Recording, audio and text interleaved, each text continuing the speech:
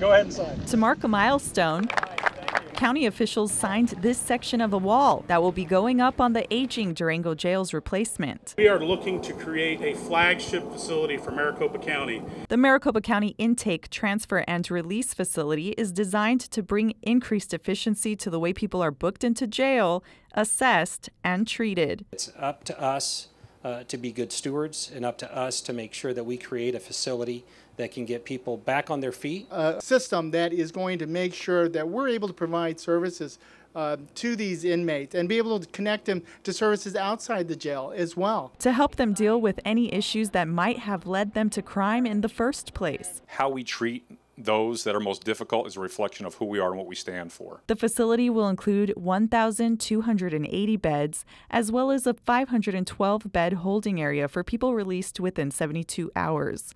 There will be physical and mental health care services on site. The facility will also replace the intake portion of the 4th Avenue Jail with an open booking plan. What we hope to do and what we will do with this new facility is, is speed that process up greatly. Allowing law enforcement to spend less time in booking and more time patrolling the streets. When it's completed, it's going to serve uh, people in the best way. Construction is scheduled to be complete by early 2020. For Maricopa County News, I'm Erica Flores.